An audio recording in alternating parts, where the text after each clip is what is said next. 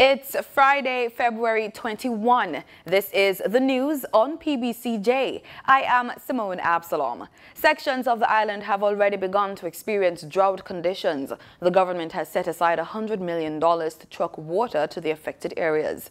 Local government and Community Development Minister Desmond McKenzie spoke of the allocation.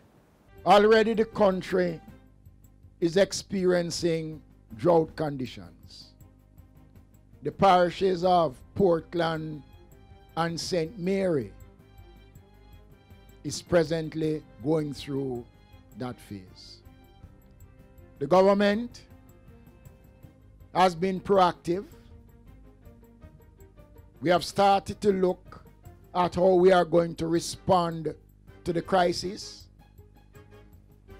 And we have been doing so in a number of ways. The minister made the remarks at a recent groundbreaking ceremony for the building of a water shop in Trial, St. Elizabeth.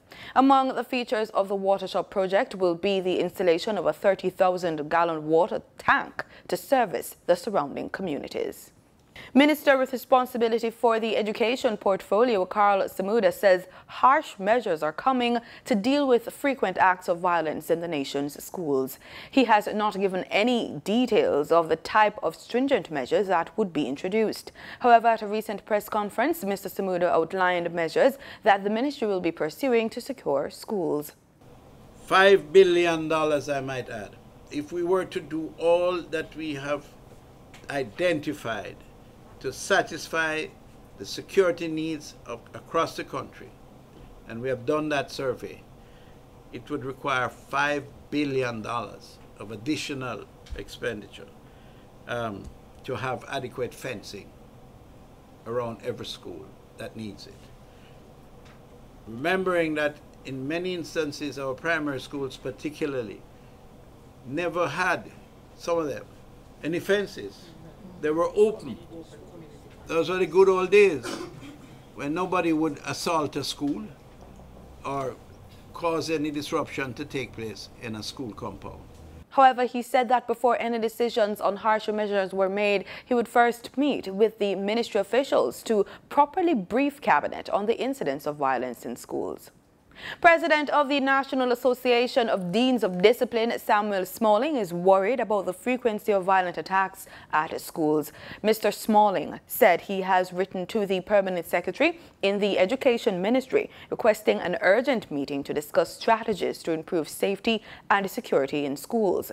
This follows two more incidents since Wednesday.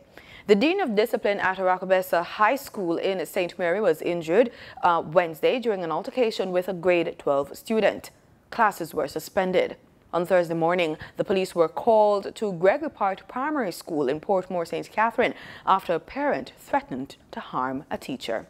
There is significant increase in credit extended by deposit-taking institutions to businesses and households for the 12-month period ending December 2019. Governor of the Bank of Jamaica, Richard Byles, says credit to businesses grew by 20.3% while the provision to households increased by 16.5%. Byles says the buoyant growth in credit represents stronger signs that the central bank's accommodative monetary policy stance has been bearing fruit. Accommodative monetary policy is where a central bank attempts to expand the overall money supply to boost the economy.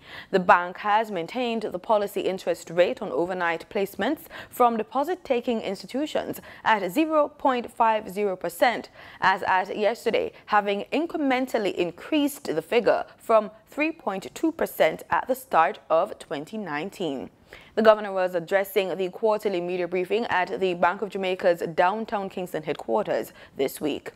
St. James residents and those in surrounding parishes are invited to attend the expungement fair being hosted by the Legal Aid Council, LAC, on Friday. The event is being held on Alice Eldemire Drive between the Ministry of Education, Youth and Information's regional office and the Herbert Morrison Technical High School in Freeport. Under the Criminal Justice Rehabilitation of Offenders Act, Jamaicans convicted of certain criminal offences can apply for their record to be cleaned after a predetermined rehabilitative period has passed. People contacting the current Commissioner General's office, which includes Tax Administration of Jamaica, TAJ, executives and communications branch, may experience intermittent temporary delays. This as the TAJ is moving its corporate office to the Donald Sangster building also known as the Round Building, on 116 East Street, Kingston. The authority says that customers wishing to contact sections of the current corporate office, including their communications branch, are being advised to contact employees via their TAJ assigned mobile numbers. Customers may also call 876 922 3470 to 9 to contact any of the relocated units. The office will formally open effective Monday, February 24. The private sector organization of Jamaica, PSOJ, has announced the resignation of Makabe Bennett Easy from her current position as Chief Executive Officer. She will demit office effective March 25, 2020.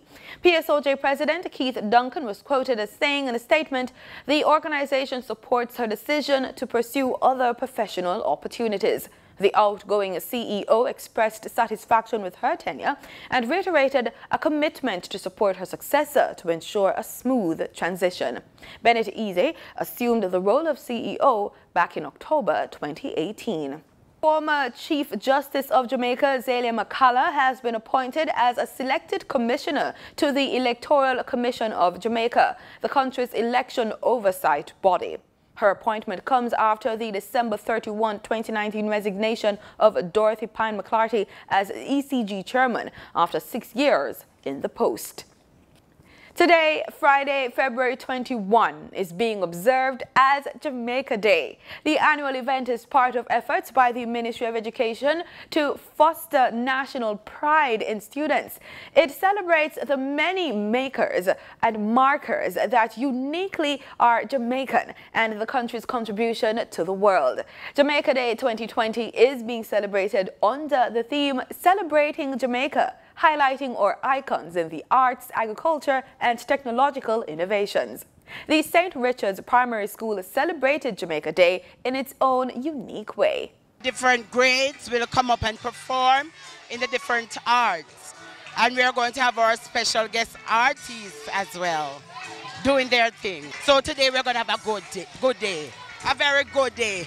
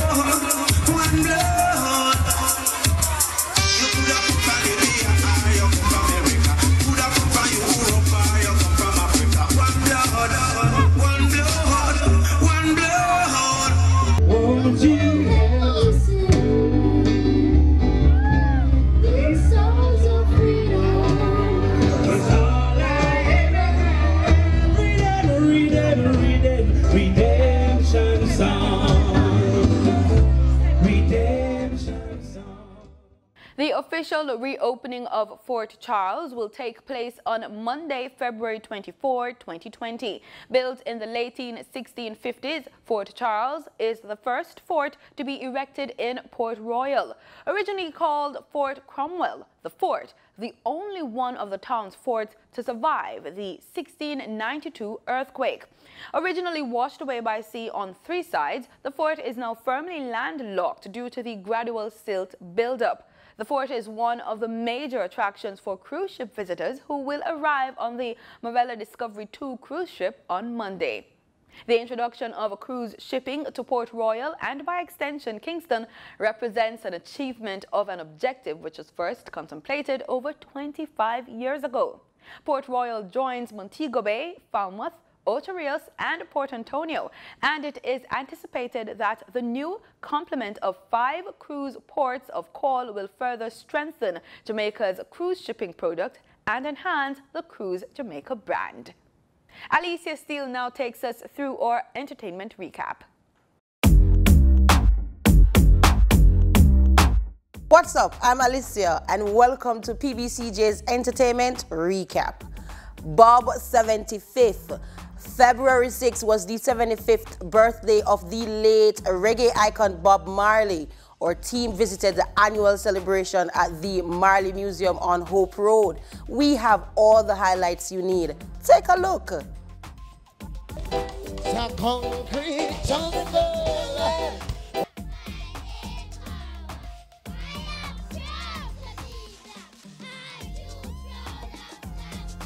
and integrity, sustain our heritage intelligence, and maintain our traditional protocols. City long live, spirit of Bob Marley long live. Yeah. Yeah, man. All right, all right. So now, St. Isaac Basic School. It is your time. Children, come up. You're going to sing. Jaguar showroom opening. Vroom, vroom. The Jaguar Land Rover showroom is now open. The US 13 million full service dealership sits pretty at 3 Auto Wind Drive. What can I say? The treatment was pure luxury from start to finish. Guests were shuttled to the venue in high style, from the glitzy decor and party favors to the high-end toys on display. It was a car lover's dream come true. The Honorable Brogard Prime Minister Andrew Holness was keynote speaker. The Stewart's Automotive Group is the force behind it all. And the Stewart clan were out in strong numbers, even paying tribute to patriarch Gordon Butch Stewart. But the real showstopper was the performance of artist Protoje.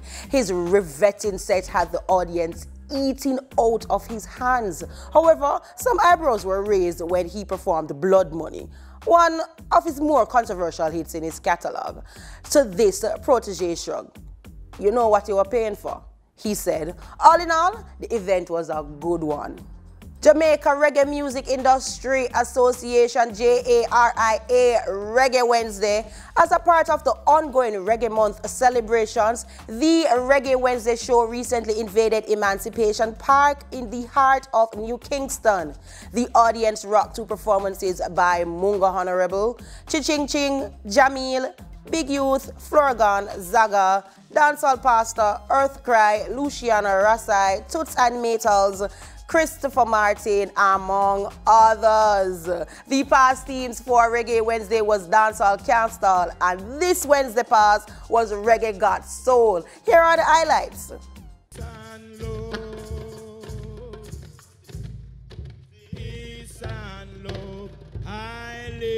Break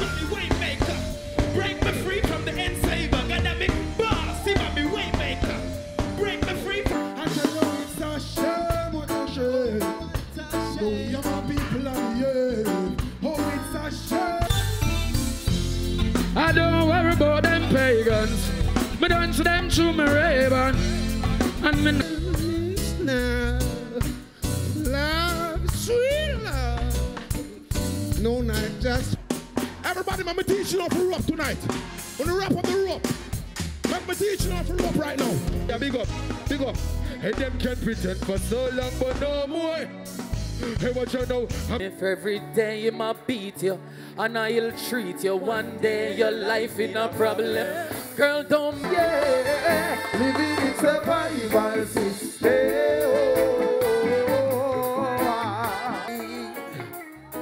Boost that guy. Boost that guy. Let us pray. He's a perfect wonder. One day more. That ballroom last night. DYCR wins court case against Downsound Record.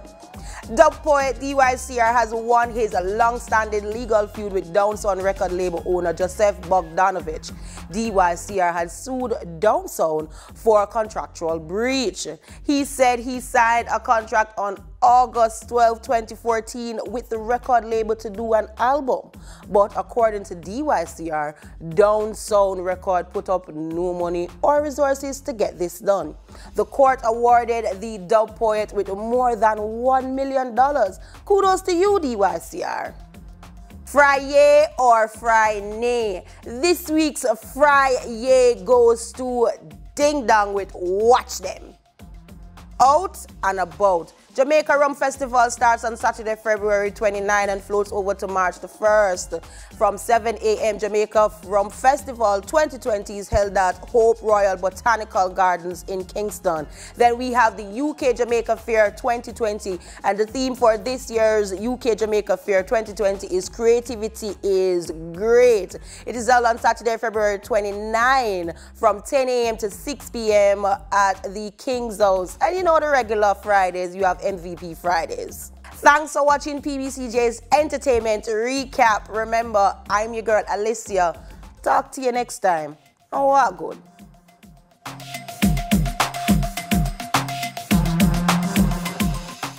The US dollar is being traded at $140.53, down by 52 cents. That's according to the Bank of Jamaica's daily exchange trading summary. The Canadian dollar is being traded at $105.98, down from $106.17, while the British pound sterling is being traded at $182, 1 cent up from $181.53. In regional news, one of the long-standing questions that came up at the 31st Intersessional CARICOM meeting in Barbados was the free movement of workers among member states. Dominica Prime Minister Roosevelt Skerrit addressed the issue at a press conference on Wednesday. Extensive work was done um, on the free movement of, of, of labor throughout the Caribbean community.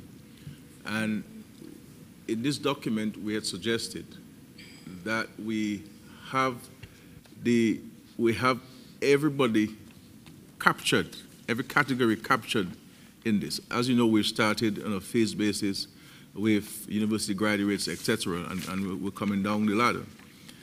And it was always felt that we must not let the Caribbean citizens believe that it, is, it would be only a selected few who would enjoy this fundamental right of movement.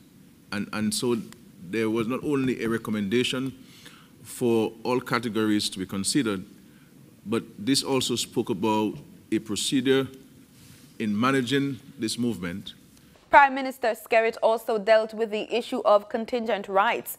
Contingent rights are those which are associated with CARICOM skilled nationals as they and their dependents travel hassle-free throughout the region. These rights relate to their non-discriminatory access to the social services of the host territory.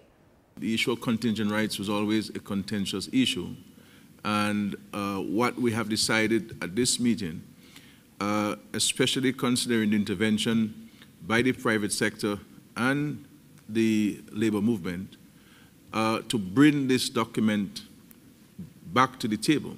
And that document um, came about from a wide cross-section of consultations with the private sector, civil society, the trade unions, uh, member states. And, and so we will bring it back to, to heads we intend to re-engage the stakeholders so we can freshen up the document if we have to. And it will be presented uh, to heads at the meeting in St. Vincent and the Grenadines. In Guyana, the Bonasika bauxite project was officially opened along the Demerara River on Thursday.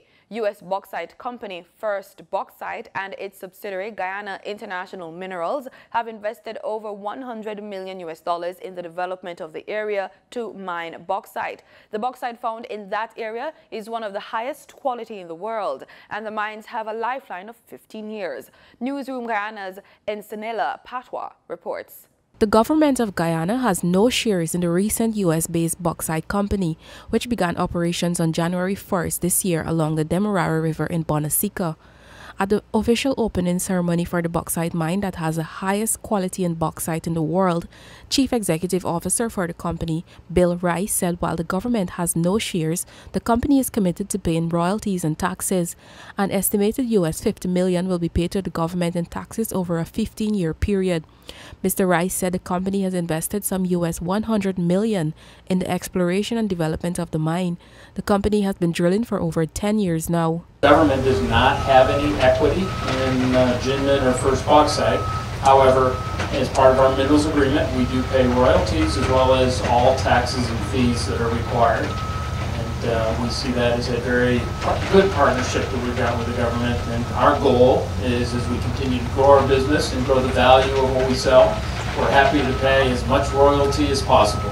The approximate 13 million tons of bauxite found in the Bonasika project is one of the highest qualities in the world. Products made from the bauxite last longer. It has low contaminants and high in aluminum. This type of bauxite is also found in the quarantine area in Guyana. It was noted that there are encouraging signals from markets in Asia, North America, and Europe for the quality of the bauxite at Bonasika. Mr. Rice said the company is committed to ensuring that Guyana receive the most value possible and also support the country and help the economy grow. He said they are also committed to safety and environmental compliance with both local and international standards. One of the ways that we want to show the respect we have is to make certain that we're giving all the people that work for us opportunities to grow and develop to their full potential. And we think that that's one of the areas that we can help both them, we can help the country, but we can help ourselves by allowing people to be able to learn, be able to take on new skills, take on new responsibilities, and continue to grow. And last but not least, one of the things we want to do is make certain that we're supporting Guyana to meet your goals and objectives. Minister of Natural Resources Raphael Trotman said the bauxite industry has helped in the development of the country. The minister said they welcome investors who are committed to developing a qualified workforce. We will continue to expect high standards from you in your dealings with the people of Guyana in order that we may have a long and mutually beneficial relationship. We also expect that as you benefit from the resources of the community, you comply with our laws and respect our people. Leave behind better infrastructure than you met and also a more professional workforce than you found. And of course, we expect you to maintain your high standards standards of environmental behavior, which can be used as a model beyond Bonasika. To get to the mines, the main mode of transport is through the Demerara River by boat to a small community, Sand Hills, and from there it's a 30 minute drive. Workers spend two weeks in living quarters in Sand Hills and then they are off for one week. Currently, there are 95 permanent workers, 130 contracted employees, and 8 expatriates. There are two medical centers on site with three medical personnel. As it relates to production, the bauxite plant can produce 1,000 tons a day and about 30,000 per month. A pilot scale production was done in 2019 to start developing the market for the bauxite and so far have supplied over 20,000 tons of bauxite. The target for the year is 320,000 tons. Reporting for Newsroom, Esanella Patwo. Grand Cayman was rocked by an earthquake with a magnitude 4.4 late Wednesday.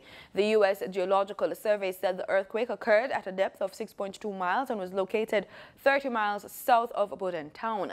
However, there were no reports of damage or injuries from the quake that was felt just after 6 p.m. We are in the creases with cricket now as the career of Guyana and West Indies under-19 batsman Kevlon Anderson has received a major boost with the signing of a contract with global sports brand Adidas. The deal was secured by an overseas-based Guyanese who has been very supportive of local cricketers. We get more in this Newsroom Guyana report. The deal was secured by USA-based Guyanese businessman and sport fanatic Ravi Etwaru, the proprietor of Cricket Zone USA, North America's largest cricket retail outlet. Through the alliance, the right-handed Anderson, who represented West Indies at a recently concluded Youth World Cup in South Africa, will use branded Adidas gear. The Town Youth and Sports Cup player is one of the brightest young talents in Guyana and one that is heavily tipped to have a long career in the game. Anderson, who made 86 not out against England at the Youth World Cup, expressed appreciation to Etwaru and Adidas for choosing him as a brand ambassador. Um, just like to say thanks to Ravi at Cricket Zone New York um, getting Adidas on board and just it's up to me now to just go out and do the goods. I never had a thought before, but just thankful. So anybody else around the world could just go out and support Ravi so he could make other dreams to young kids come true. Well, I say it's a dream come true, just like thank the Almighty. Without him, nothing is possible. Etwaru said apart from supplying cricketers with quality gear, Cricket Zone USA is also very keen on helping young cricketers achieve their dreams, and this latest arrangement with Anderson is another demonstration in that regard. Anderson is the third Guyanese cricketer to benefit from an Adidas contract after West Indies players Chanderpaul Hemraj and Romario Shepherd. Reporting for Newsroom, I'm Avinash Ramzan. And that's the news on PBCJ. Pleasant viewing.